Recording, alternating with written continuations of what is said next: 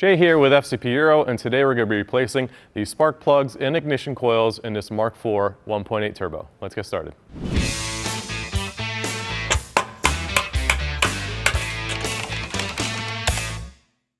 All right, so the essential information in this video can be used on all the 1.8 turbos found on the Mark IV chassis vehicles. That includes the, the Golf, the GTI, the Jetta, the Beetle, and the Audi TT as well. So they're going to be replacing them with uh, OE NGK spark plugs, and Eldor ignition coils. All right, so now we've taken a look at what we're gonna put on the car. Let's take a look at some of the tools we're gonna need to complete the job. All right, guys, the tool list for this job is short and sweet. Uh, you're gonna need a torque wrench, a 3 8 drive ratchet, a 3 8 drive long extension, a 16 millimeter spark plug socket, and you may need a pick. Now we've gone over the tools, let's get started on the job. All right, the first step you would need to do is uh, most of these cars, well, at least at this, um, at this point, some of these cars uh, will have an engine cover that rests on the top.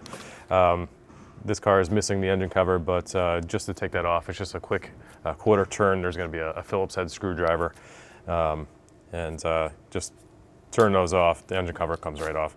Uh, the second step, also, this piece here is going to have um, a securing bolt, and you need to remove that to flip it out of the way. This car is also missing that. The next step is to remove the ignition coil uh, connectors. Now, these look to be in good shape, but you know, given the age of the car, they do become very brittle over time, and uh, these can be a little stubborn to get off. How you would remove these is you have to push down on this tab here with your thumb, uh, push in, and then release it out. Um, if you look at a couple of these, you'll see some witness marks of if someone going in there with a pick and basically that's to help release the tab that locks it into place um, and basically essentially to give it an aid.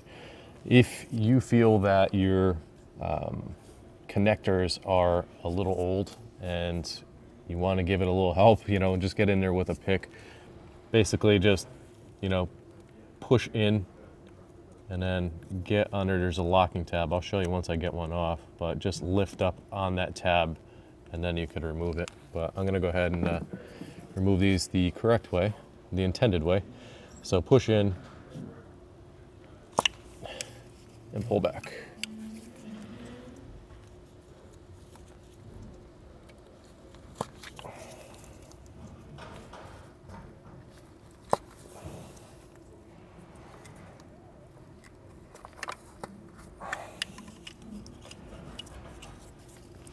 So basically it's this tab here.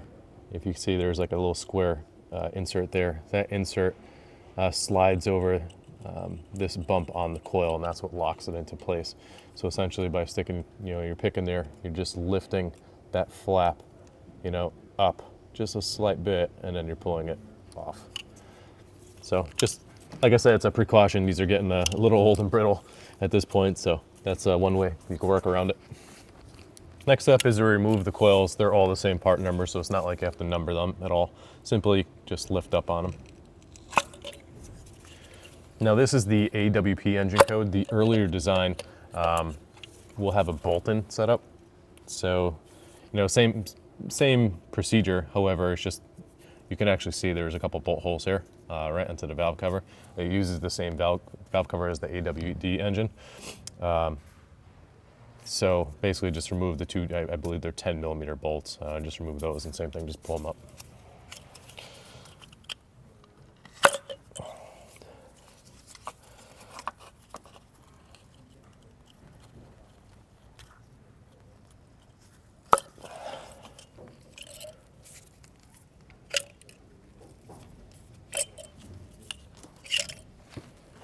All right, next step, not a bad idea if you have availability access to it. Um, take some compressed air and just blow out the spark plug tube wells.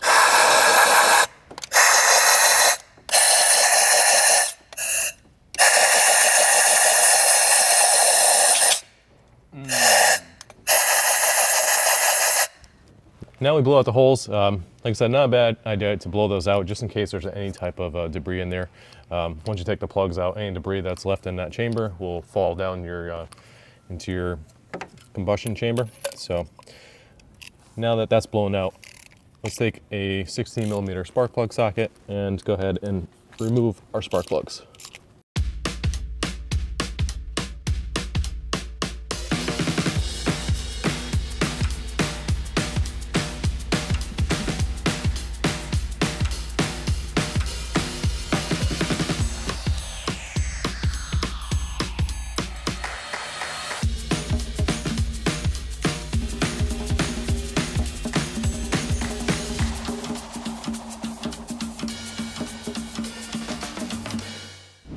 So here's a quick comparison of the old plug that we pulled out versus the new one.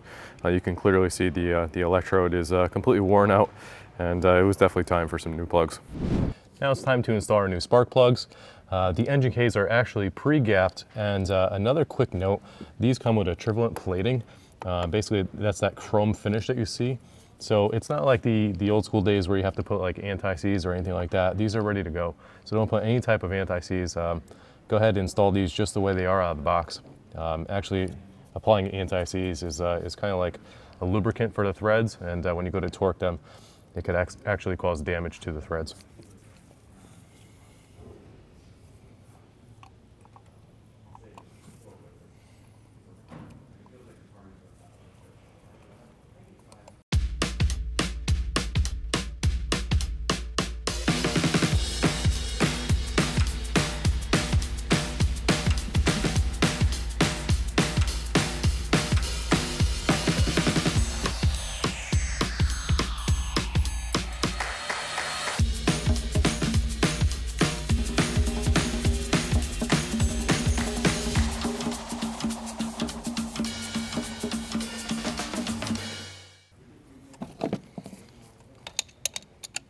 Now that they're threaded in, go ahead and snug them up. You can use a ratchet.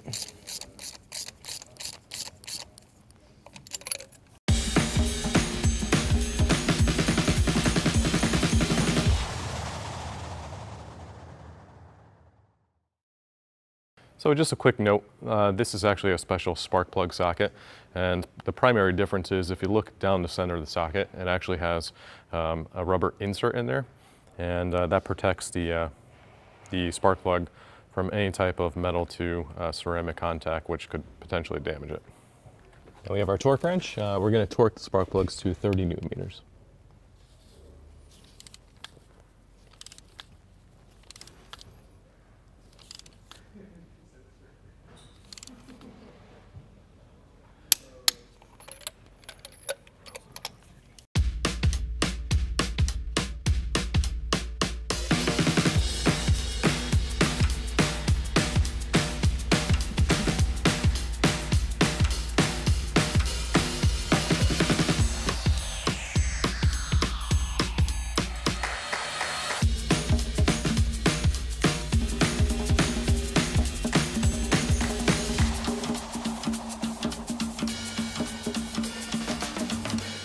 All right, next it's time to install our coil packs.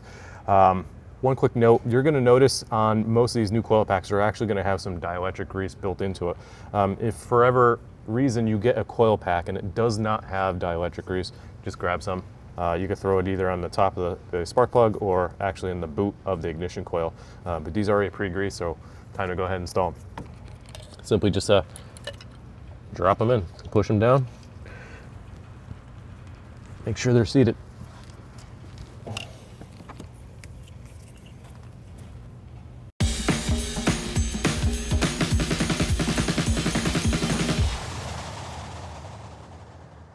All right, those installed.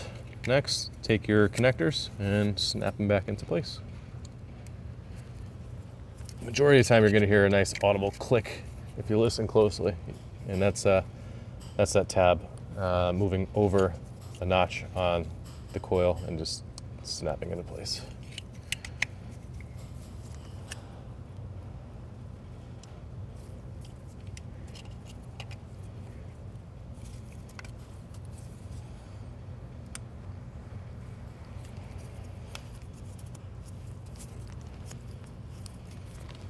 All right, next, you'd want to go ahead and secure this.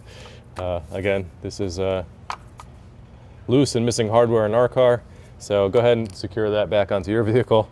Uh, go ahead install your engine cover, and, uh, and you're all set. All right, guys, that about wraps it up for ignition coils and plugs on this Mark IV 1.8 turbo. I hope you all liked the video. If you did, make sure you hit that like button. Any comments or questions, comment in the box below, and don't forget to subscribe. Thank you.